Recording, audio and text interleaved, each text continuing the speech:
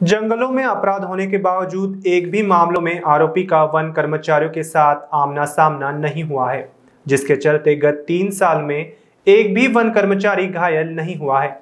यह अच्छी बात है, लेकिन वन विभाग के आंकड़े बता रहे हैं कि लगातार आपराधिक मामले बढ़ रहे हैं। वन्य जीवों की तस्वीर से लेकर अवैध तरीके से पेड़ कटाई के मामले इसमें शामिल है। हैरत की बात यह है कि दर्ज हुए मामलों की तुलना में आधे आरोपी भी अब तक पकड़ में नहीं आए हैं। इससे एक और वन विभाग की कार्यप्रणाली सवालों के घेरे में है। वहीं दूसरी ओर इन अपराध से लाखों की चपत लग रही है। देश में वन्यजीव व्यापार पर पूर्ण प्रतिबंध है। यह प्रतिबंध देसी वन्यजीवों पर तो लागू है, पर विदेशी वन्यजीव इसके दायरे में नहीं आते। तस्कर इसी का फ़ायदा उठाकर इन दुर्लभ जीवों के खरीद फरोख्त को अंजाम दे रहे हैं। राजस्व खुफिया निदेशालय द्वारा भारत में तस्करी रिपोर्ट 2019-2020 में भी सामने आया था कि भारत में विदेशी प्रजाति के जीवों की मांग में वृद्धि हुई है। रिपोर्ट के अनुसार, चूँकि देश में वन्य जीवों खासकर यहाँ पाए जाने वाले जीवों के व्यापार पर पूर्ण प्रतिबंध है, इसलिए तस्कर विदेशी प्रजाति के जीवों का व्यवसाय करने लगे हैं। इनमें से अधिकांश प्रजातियाँ विदेशी पालतू जानवरों की है और विदेशी जानवरों के संबंध में अधिकांश मामलों में प्रवर्तन एजेंसियाँ आरोपी को पकड़ने में विफल रहती है। विदेशी प्रजातियों को ले जाने वाली इन खेपों में से अधिकांश को सीमावर्ती क्षेत्रों में रोक दिया जाता है, जो सीमा सुरक्षा बल के अधिकार क्षेत्र में आता है। बीएसएफ को बहुत खुले मैदान में काम करना पड़ता है, जहाँ अक्सर आरोपी भागने में सफल हो जाते हैं। वे केवल जानवर जब्त कर पाते हैं। नागौर विभाग में दक्षिण उमरेड, उत्तर उमरेड। नरखेड़, कोंढाली, काटोल हिंगना देवलापार, पारशिवनी, रामटेक, पवनी, कलमेश्वर, सेमिनरी हिल्स, बुटीबोरी, खापा आदि इलाके आते हैं। आए दिन इन क्षेत्रों में कहीं न कहीं अवैध शिकार से लेकर पेड़ कटाई के मामले सामने आते हैं, लेकिन आरोपी पकड़ में नहीं आते। आंकड़ों के अनुसार वर्ष 2018 में सैतीस मामले दर्ज हुए, जिसमें ज़्यादातर वन कटाई के मामले शामिल हैं।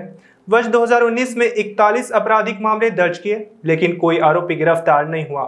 फिर वर्ष 2021 में कुल मामले 48 दर्ज हुए। इस साल तस्करी के मामलों में 33 आरोपी को पकड़ा गया है, जो 8 मामले में पकड़ में आए हैं। 40 मामलों के आरोपी हाथ नहीं लगे हैं। 26 अगस्त 2021 को पवनी वन परिक्षेत्र में हिवरा गाँव के पास वन्य पशु अवयव तस्कर गिरोह को वन विभाग ने गिरफ़्तार किया था। उनके पास से 20 से 25 वन्यजीवों के अवयव तथा मोटरसाइकिल जब्त की गई थी। तस्कर प्रशांत साचेरे दिलीप आदमने, निवासी खनोरा को गिरफ़्तार किया गया।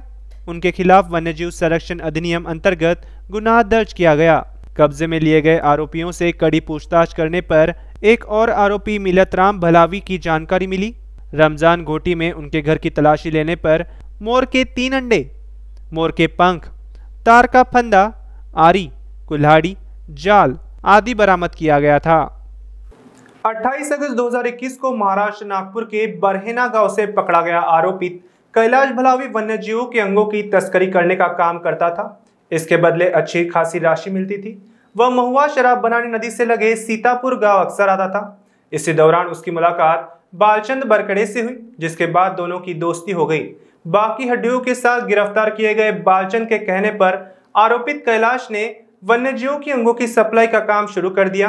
नागपुर के पिंडकापार से गिरफ़्तार रोशन उइके व नरबत कोडवाड़े बाघ सहित दूसरे वन्य प्राणियों का शिकार कर अंगों और हड्डियों को बेचने के लिए एजेंट तलाशते थे। हड्डियों सिंह को किलो से भाव से बेचा जाता था। ताज़ा तथ्य यह है कि वन्यजीवों के वैध और अवैध व्यापार से उनकी आबादी में औसतन बासठ फ़ीसदी की गिरावट दर्ज की गई है। वही व्यापार के चलते पहले से ही विलुप्ति की कगार पर पहुँच चुकी प्रजातियों पर खतरा कहीं और बढ़ गया है। शोधकर्ताओं के अनुसार, व्यापार के चलते उनकी आबादी में औसतन 80 फ़ीसदी से ज़्यादा की गिरावट दर्ज की गई है। कुछ मामलों में तो प्रजातियाँ स्थानीय स्तर पर गायब ही हो चुकी है। संरक्षित क्षेत्रों में भी वन्यजीवों की आबादी में आई छप्पन फ़ीसदी की गिरावट इस बात का सबूत है कि वहाँ कुछ तो गलत है। शोधकर्ताओं का मानना है कि वन्य जीवों का यह व्यापार उन जीवों के लिए बहुत घातक है। इसके बावजूद इस पर बहुत सीमित अध्ययन किए गए हैं। दुनिया भर में वन्य जीवों और जैव विविधता की तस्करी एक बड़ा व्यापार है। अनुमान है कि अंतर्राष्ट्रीय स्तर पर हर साल 10 करोड़ पौधों और जानवरों की तस्करी की जाती है। आमतौर पर इनकी तस्करी पारंपरिक दवाओं के निर्माण, लग्जरी खाद्य पदार्थों और जीवों को पालतू बनाने के लिए की जाती है। यदि वैश्विक स्तर पर देखें तो वन्यजीवों का यह व्यापार तकरीबन एक लाख पैंतालीस हज़ार चार सौ अठारह करोड़ रुपए प्रति वर्ष तक का है। पारंपरिक दवाओं, लग्जरी खाद्य पदार्थों और जानवरों को पालतू बनाने के लिए हज़ारों प्रजातियों का व्यापार किया जाता है। बड़ी परेशानी है कि अधिकांशतः जिन प्रजातियों का व्यापार किया गया, उनमें से कई प्रजातियाँ तो स्थानीय स्तर पर विलुप्त हो रही है। ट्रैपिंग के चलते उन प्रजातियों में भारी गिरावट दर्ज की गई है, जिन पर विलुप्त होने का खतरा ज़्यादा है। या फिर जिनका पालतू बनाने के लिए कारोबार किया जाता है। 2019 में जनरल साइंस में छिपे एक शोध से पता चला है कि ज़मीन पर पाए जाने वाली 31,500 से ज़्यादा पक्षियों स्तनपाई उभयचर और सरीसृप प्रजातियों में से 24 फ़ीसदी का व्यापार किया जाता है। आमतौर पर जिन प्रजातियों का व्यापार किया जा रहा है उनके विलुप्त होने में इसका बहुत बड़ा हाथ है। वन्य जीवों का व्यापार किस तरह जीवों की आबादी पर असर डाल रहा है? इसका सबसे ज्वलंत उदाहरण अफ्रीकी हाथी है, जिनके हाथी दांत व्यापार के कारण आबादी में गिरावट आई है। इसी तरह एशिया और अफ्रीका में पेंगोलिन प्रजातियों की आबादी पर भी उनके व्यापार के चलते असर पड़ा है। हालाँकि दुनिया भर में वन्यजीव व्यापार और उसके प्रबंधन के लिए कई नीतियाँ बनाई गई है, लेकिन व्यापक शोध की कमी के चलते यह नीतियाँ कितनी कारगर है, इसके बारे में ठीक ठीक नहीं कहा जा सकता है। ऐसे में यह नीतियाँ प्रजातियों की सुरक्षा का दावा नहीं कर सकती है।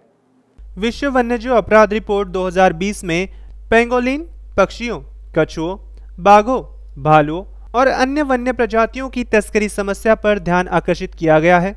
जब वन्यजीवों को उनके प्राकृतिक पर्यावासों से हटाकर उनकी निर्ममता से हत्या की जाती है तो उन्हें गैरकानूनी रूप से बेचा जाता है। तो इससे पशुजनित बीमारियाँ फैलने की आशंका बढ़ जाती है। ऐसी बीमारियाँ वायरस पशुओं में से मनुष्य तक पहुँचने के कारण बढ़ रही है। पशुजनित बीमारियों को पचहत्तर फ़ीसदी उभरती संक्रामक बीमारियों के लिए जिम्मेदार बताया गया है। इनमें नोवल कोरोना वायरस भी है, जिसके कारण दुनिया वैश्विक महामारी कोविड 19 की चपेट में है। दरअसल वन्य जीवों और उनके उत्पादों की मानव उपभोग के लिए तस्करी में साफ़ सफ़ाई के मानकों का पालन नहीं होता, जिससे संक्रामक बीमारियाँ फैलने का खतरा बढ़ जाता है। वन्यजीवों का व्यापार अब डिजिटल माध्यमों पर भी हो रहा है और तस्कर जीवित रेंगने वाले जंतुओं, बाघ की हड्डी के उत्पादों सहित अन्य उत्पाद बेचने के लिए ऑनलाइन प्लेटफॉर्म और संदेश भेजने वाले ऐप्स का भी इस्तेमाल कर रहे हैं। वन्यजीव हमारी परिस्थिति की संतुलन के लिए बेहद खास है। इनकी विलुप्त हो रही प्रजातियाँ मानव जीवन के लिए घातक है। यह जानते हुए भी असामाजिक तत्व इनके खात्मे में जुटा हुआ है। इनके खिलाफ सरकार तो कदम उठा ही रही है। जंगल के आसपास रहने वालों को भी सतर्क रहना होगा। ऐसे लोगों का चंद रुपए के लिए साथ घातक साबित हो सकता है। बेहतर होगा कि ऐसे चेहरों को पहचाने और साफ़ देने से साफ़ इनकार करे और जीवों की रक्षा करे। जो हमारी ही नहीं, पीढ़ियों का जीवन भी एक चक्र के अनुसार आसान बनाते हैं।